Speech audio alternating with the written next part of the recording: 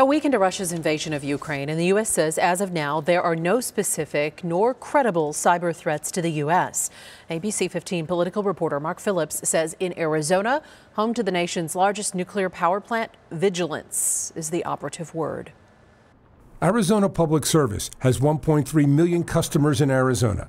The Palo Verde nuclear power plant APS operates also supplies electricity to Southern California, New Mexico, and El Paso. You need to be paying close attention to everything, and you need to be sharing information. Arizona Director of Homeland Security Tim Roemer says there are no signs of a Russian backed cyber attack on Arizona's infrastructure.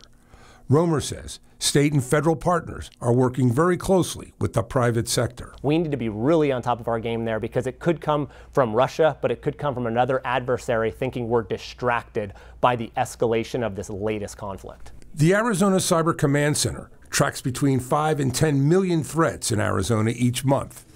Over the weekend, the FBI and CISA, the Cybersecurity Infrastructure Security Agency, published malware updates for states and companies like APS to help block attacks similar to what Russia is doing to Ukraine in the event they come. Mark Phillips, ABC 15, Arizona. Stay with us on ABC 15 for the very latest online and on air following these new developments from Ukraine. We'll have continuing coverage, of course, for you tonight at 10 and the very latest overnight, as always, tomorrow morning on ABC 15 Mornings.